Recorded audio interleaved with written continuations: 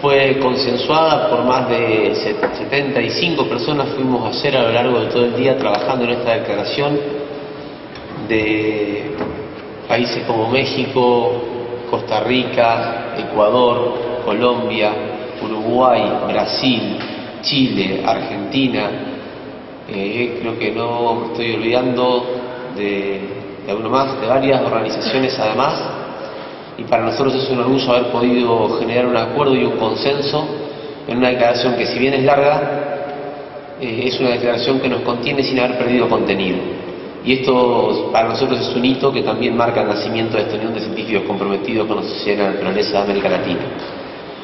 Y en ese sentido, continuando con el programa, hoy contamos con la, la posibilidad de que comparta con nosotros algunos de sus saberes, algunas de las ideas que ha podido ir construyendo y que ha podido ir también sembrando a lo largo y a lo ancho de toda América Latina, un, un hermano, un maestro, alguien que, que nos ha guiado a muchos de nosotros a través de sus escritos sin que nos hayamos encontrado hasta hace muy poco tiempo, pero que seguro de, de la importancia de, compartir lo que iba construyendo en sus vínculos con los pueblos, con los pueblos que luchan, con los pueblos que resisten y con los pueblos que siembran futuro, eh, nosotros entendemos que como otro coterráneo de él, que hace poco también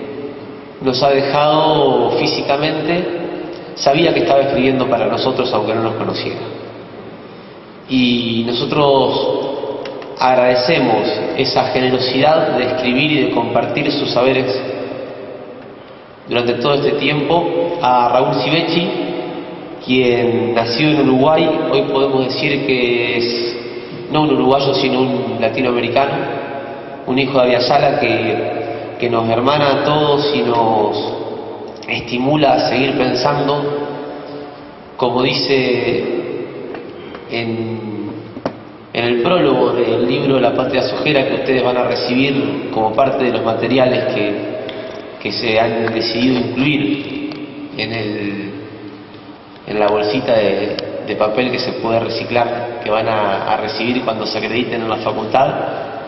La Patria Sojera es un libro que se construyó colectivamente a partir de una iniciativa de Diana Melón, que esta tarde lo va a estar presentando.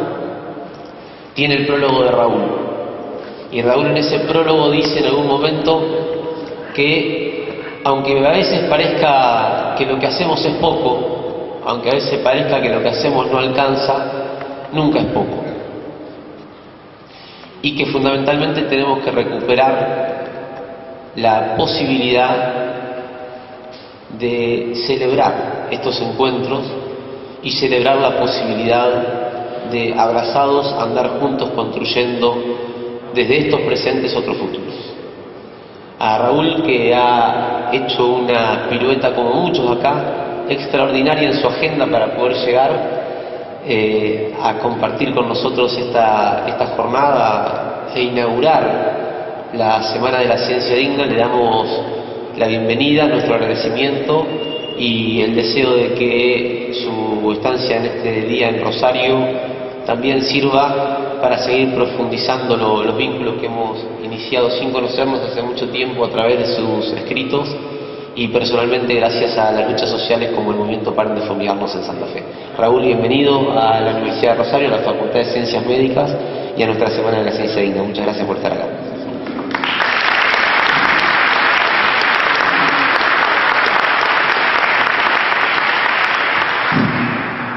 Eh, buenos días a todas y a todos. Es un honor para mí estar aquí. Eh, agradezco a la Universidad Nacional de Rosario, a la facultad y especialmente a Damián la invitación para estar en la inauguración de este encuentro. Eh, quiero, lo segundo que quiero decir es recordar a una querida compañera que hace unos días se nos fue, Norma Giarraca, que en una suerte de diálogo de vida con Andrés Carrasco eh, fue una persona socióloga que durante toda su vida eh, combinó ese riguroso estudio con la eh, académico con su compromiso con los movimientos sociales. Ella estaba más volcada a los movimientos campesinos, a los movimientos rurales y jugó un papel realmente importante en la eh, investigación y en la creación de un espacio de investigación sobre los movimientos en el Instituto Gino Germán. Y me parece que no es casualidad que dos personas que recordamos aquí hayan estado tan estrechamente vinculados a los movimientos. Me gusta recordar a Norma en sus rondas, en sus idas, sobre todo al norte, y en su participación este, de intercambio de saberes con los movimientos. Y me gusta recordar a Andrés que una de sus últimas actividades fue participar en la escuelita zapatista en Chiapas. De modo que de alguna manera eh, Norma y Andrés van a estar presentes en este encuentro. Bien, eh, voy a empezar con una cita. No es lo mejor, pero voy a empezar con una cita. Y voy a empezar con una cita sobre la peste negra. Eh, primero porque la peste negra fue eh, un hecho muy importante en la historia de la humanidad. En 3, 4 años, 1348, 52, se calcula que más o menos la mitad de la población europea murió eh, por la peste negra, que en los últimos recién 30, 40 años se está estudiando de forma eh, profunda y de forma rigurosa. Yo me gusta decirle a, la gente que en la época de Marx, ¿verdad? o de los fundadores del, del socialismo, o de Bakunin, respetando las diversas sensibilidades, había una vaga noción de lo que fue la peste negra, pero no había estudios rigurosos. Y me parece que en un evento como este, hablar de la peste negra no es ocioso.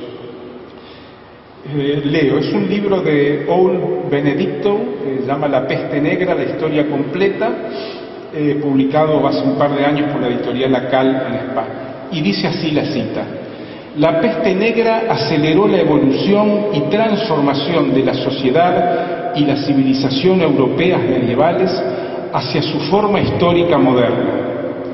Al generar un gran déficit de mano de obra, impulsó la modernización económica, tecnológica, social y administrativa que halló su expresión sobre todo en los centros capitalistas del norte de Italia y en parte también en Flandes, en una cultura más secular y urbana asociada al Renacimiento.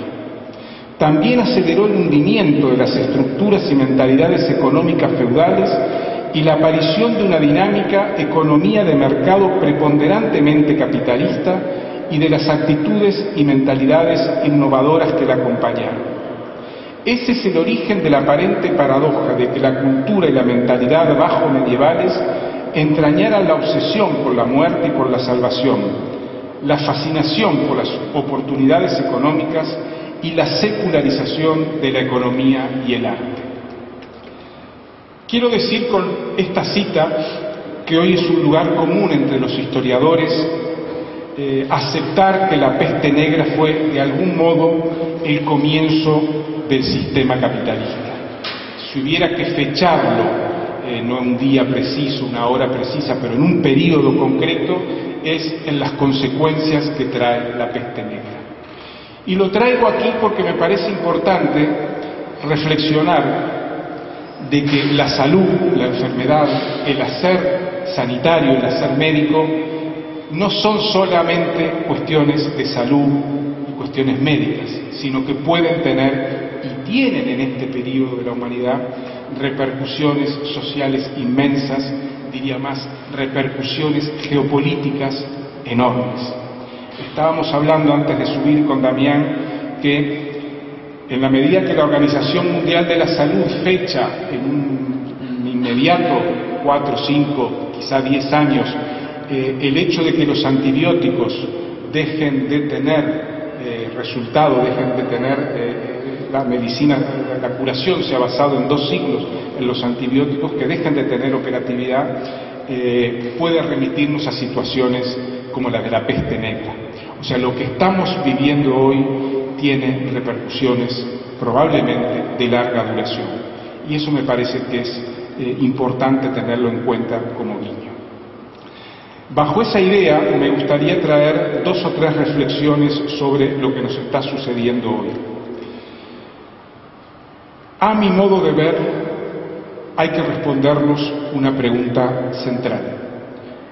¿De qué modo el extractivismo está remodelando nuestras sociedades, el medio ambiente, la vida de la gente? ¿De qué modo el, extractivismo está cambiando nuestra forma de percibir la vida y la muerte, nuestra forma de percibir la salud, nuestra forma de percibir la naturaleza? Y algo muy concreto, de qué modo el extractivismo está influenciando en los estados, de modo, de modo que hoy los estados tienen enormes dificultades para reaccionar al modelo extractivo y para situarse en lo que sería su tarea histórica, política, de regular las sociedades. Y no lo están haciendo, o lo están haciendo de forma muy tardía y parcial. Bien, a mi modo de ver, y es una forma de mirarlo desde lo, desde lo que yo trabajo y observo, eh, el modelo extractivo, la acumulación por despojo, por desposesión, en palabras del geógrafo eh, norteamericano David Harvey, es una forma de neocolonialismo.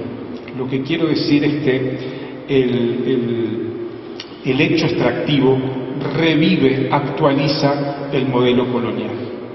Y eso es algo de lo cual hemos hablado y no es muy novedoso.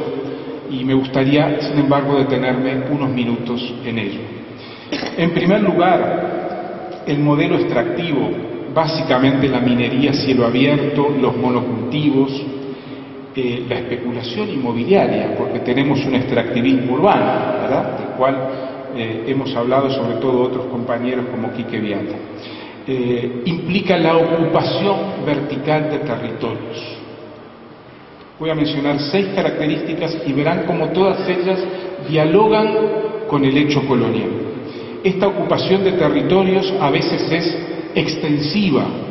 30% de ciertos países eh, andinos ya están, la superficie de esos países está concesionada a la minería. Pero además una eh, actuación vertical intensiva en espacios muy concretos como son eh, la megaminería, como es eh, las grandes represas hidroeléctricas, etc. En segundo lugar, y esto tiene enorme repercusión en este tema de los estados, el establecimiento de relaciones asimétricas, geopolíticas asimétricas, entre un pequeño grupo de transnacionales del primer mundo básicamente norteamericanas, europeas y ahora chinas, eh, relaciones asimétricas entre esas grandes empresas y países y los estados y las poblaciones de, nuestros países. Esa asimetría de poder revive también el hecho colonial. En tercer lugar, el hecho de que tengamos economías de enclave. el modelo desarrollista nos acostumbró a economías de derrame. La fábrica, el modelo industrial, derrama sobre la población a través de multiplicación de eh, profesiones, de oficios, a través de de vidas, hojas de vida ascendentes de los que fueron trabajadores rurales que ingresan a la industria y terminan como técnicos o como obreros calificados y sus hijos vuelven a desempeñar un papel similar y muchos de ellos terminan en las universidades. ¿Verdad? Eh, bueno, al contrario de eso tenemos economías de enclave, economías isla que son prácticamente autosuficientes, donde hay muy pocos trabajadores, donde hay muy poca interacción con lo que lo rodea y donde lo que queda es básicamente lo que hemos dado en llamar los pasivos ambientales. Eso también nos remite al hecho colonial. En cuarto lugar, y esto está estudiado entre otras eh, por Norma y por Maristela Rampa y otras personas, Mirta Antonelli, eh, cómo eh, las grandes empresas ojeras, mineras, etcétera, tienen capacidad para vulnerar la legislación nacional y la soberanía nacional, forzar a remodelar las legislaciones, las disposiciones legales, de modo de que hacen intervenciones tan potentes, tan fuertes, tan corruptoras, que terminan por hacer que la legislación se adapte a sus necesidades cuando históricamente, por lo menos en el periodo desarrollista, era al revés, eran las empresas que se adaptaban a las legislaciones locales. Ahora sucede algo totalmente opuesto que también nos remite al hecho colonial. En quinto lugar, el extractivismo desconoce a las poblaciones, desconoce el medio ambiente, desconoce la salud humana y natural, eh, generando un gravísimo problema de agua, generando situaciones de escasez de agua por contaminación o por eh, consumo abusivo del agua, eh, rompen los ciclos biológicos, se produce la desterritorialización de poblaciones enteras y más y tan grave como eso, desintegración social. De modo que después de un tiempo de, intervención en estos espacios, en estos territorios, las comunidades locales pierden la capacidad de resistir o su capacidad de resistencia se reduce al mínimo. Eh, recuerdo que estuvimos en un encuentro en abril en Santa Fe de la campaña Paren de Fumigarnos, donde nos conocimos con Damián, donde una maestra de un pueblo de aquí de la provincia, El Hortondo, con lágrimas en los ojos eh, durante todo el encuentro, relataba la dificultad para dialogar lo que, lo que estaba sucediendo ante sus ojos. Creo que hubo un campamento sanitario en el Hortondo y es esta multiplicación de enfermedades, ¿verdad? Cuatro, cinco, seis veces más que la media nacional de leucemia, de diversos cánceres, de aborto. Ustedes conocen mucho mejor que yo esa situación. Entonces, eh, no solo la agresión es brutal, sino que la desintegración del tejido social que producen estas intervenciones dificulta enormemente la reacción social. ¿verdad? Porque eh, la, la, directora donde ella trabaja pues, es esposa de un señor que cultiva o porque la autoridad o el otro tienen vínculos y además del natural, lógico, aunque no defendible, temor de los seres humanos. Entonces aquí tenemos una cantidad de intervenciones tan potentes, tan disgregadoras, tan, eh, con tanta capacidad de disolver sociedad, que oponerse a ellas es extremadamente difícil. Y en sexto y último lugar, el extractivismo ha sido definido eh, como un actor social total, no solo un actor económico, no solo un actor político, sino un actor que además llega al territorio implementando sus propias políticas sociales. Y entonces este, le da tal cosa poquita, ¿no? A la escuela, al secundario, al otro, al otro, y, interviene, ¿verdad? Eh, no solo destruye, sino que intenta reconstruir tejido en base a la eh, adhesión incondicional, ¿verdad? por lo menos que no haya denuncia, a los, a los, a los poderes eh, que ellas mismas eh, instituyen. De modo que el extractivismo está promoviendo una reestructuración completa de las sociedades y de los estados, estructural y subjetiva, ¿verdad? Y vaya si han tenido dificultades, más de uno de ustedes, ¿verdad?, para poder convencer a la población que está sufriendo que lo que vive no es una locura, que realmente está sufriendo y está siendo vulnerada. Por todo esto creo que hoy tenemos una actualización del hecho colonial. Pero quisiera además agregar dos cosillas particulares de nuestros estados de América Latina. En primer lugar, para los pueblos o dicho mejor de otro modo, para el modelo extractivo, los pueblos son un obstáculo. Y esto me parece que es importante pensarlo a fondo. En el modelo desarrollista del que venimos, porque yo me crié Damián todavía no, pero yo me crié bajo el modelo desarrollista, el modelo industrial, la población era un recurso básico, de modo que las fábricas chupaban población a su entorno, incluso de lugares muy lejanos, porque en una punta de la producción había seres humanos y en la otra punta, en el consumo, había seres humanos. La industria textil, la frigorífica, etcétera, etcétera, que fueron las primeras en nuestros países, necesitaban trabajadores, trabajadoras y consumidores. Hoy en día ninguna de las dos cosas son necesarias. Muy poquitas personas trabajan en la minería cielo abierto. Habría que ir a Chile y ver la mina de Chuquicamata, la mayor mina a cielo abierto del mundo. Los camiones que van y recogen el mineral, el cobre, no tienen chofer, están digitalizados desde hace ya años.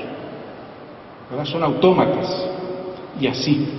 ¿verdad? Y cuando hace falta trabajadores se los lleva en camión o en helicóptero, están como en las plataformas petrolíferas, están unos días y se van.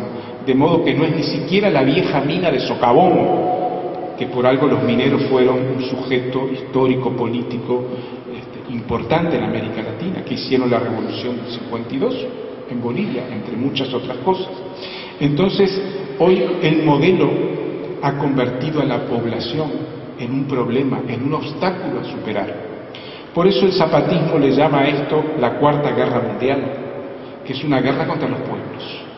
El modelo extractivo, lo ideal sería tierra arrasada, encontrar que no hay nadie más que tierra o más que cerros, ¿verdad? Porque necesitan muy poquita gente. Y en segundo lugar, y aquí me parece que tenemos que ubicarnos como profesionales o como intelectuales o como lo que ustedes quieran, como pensadores y pensadoras, en lo que es hoy el tercer mundo. Eh, David Harvey, que ha sido quien ha teorizado esto de la acumulación por desposesión o despojo, la acumulación por robo, eh, hablando claro, eh, reflexiona sobre que la principal forma de acumulación por despojo son las privatizaciones. Y eso es cierto para el primer mundo y para las clases medias.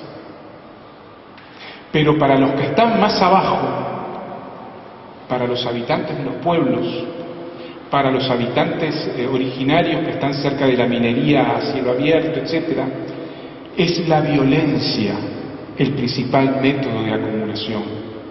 ¿Verdad? Porque nosotros cuando pensamos en la acumulación por disposición, en la soja, la minería, naturalmente yo soy habitante urbano, lo vemos desde nuestro lugar. Pero si hacemos al revés y nos ponemos en el lugar donde vive la maestra del Hortondo, que varios miembros de su familia ya murieron por cáncer y sus vecinos, vemos la realidad desde otro lugar. Es una agresión violenta permanente. Sobre esto voy a volver al final, que no va a ser dentro de mucho rato. Y lo que quiero decir con esta historia del tercer mundo es que nuestros estados, los estados de América Latina, por más democratización que hayamos tenido, son estados hechura colonial.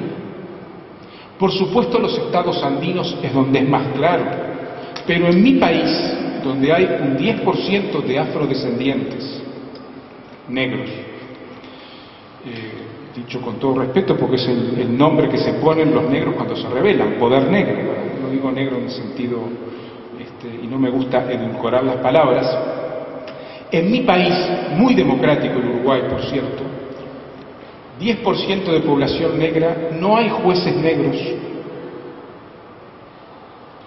no hay diputados ni senadores negros, hubo en su momento un diputado negro. Hay muy poquitos médicos negros, muy poquitos, pero en la construcción y en el trabajo doméstico están sobre representados. Siete de cada diez empleadas domésticas son negras, cuando son el 10% de la población y un 0,0 en las instituciones que tienen poder. Entonces, cuando digo que incluso el Uruguay piensen ustedes en Argentina, por supuesto en Bolivia, en Brasil, etcétera, y el resto de América Latina, son estados de hechura colonial, en la cual la reactualización del hecho colonial que implica el extractivismo es algo así como llover sobre mojado. Es una actualización de algo que no desapareció completamente, incluso en el Río de la Plata. Claro, cuando pensamos en Argentina pensamos en Buenos Aires, pero si pensamos en Misiones estamos hablando de otra cosa, ¿verdad? Cuando hablamos de hecho colonial. Entonces, hoy en día tenemos una situación realmente compleja que me gustaría brevemente llamar la atención. A veces echamos la culpa al Estado o a las autoridades estatales de que no cumplen con su deber. Y está bien hacerlo, y yo lo hago y todos lo hacemos. Pero además tenemos que comprender con Aníbal Quijano, sociólogo peruano, que estructuralmente nuestros países, aún la Argentina, aún el Uruguay, tienen dificultades por el hecho colonial y por el extractivismo para que esos estados estén a la altura de lo que son, de lo que es necesario que sean. Y esto no quiere decir disculpar a las autoridades, quiere decir que hay cosas que al Estado no se le pueden pedir y que tenemos que hacerlas nosotros. Dice Quijano, antes de gobernar tendríamos que democratizar las relaciones sociales. Antes de ser gobierno, no podemos serlo si la sociedad no se ha democratizado mínimamente, como sucedió en Europa, porque el Estado-Nación europeo es consecuencia de revoluciones, ¿verdad? Que democratizaron la francesa, la inglesa, etcétera, que democratizaron las sociedades. Nuestra genealogía es distinta no podemos olvidarla. olvidarla. La estructura de poder, dice Aníbal Quijano, fue y aún sigue estando organizada sobre y alrededor del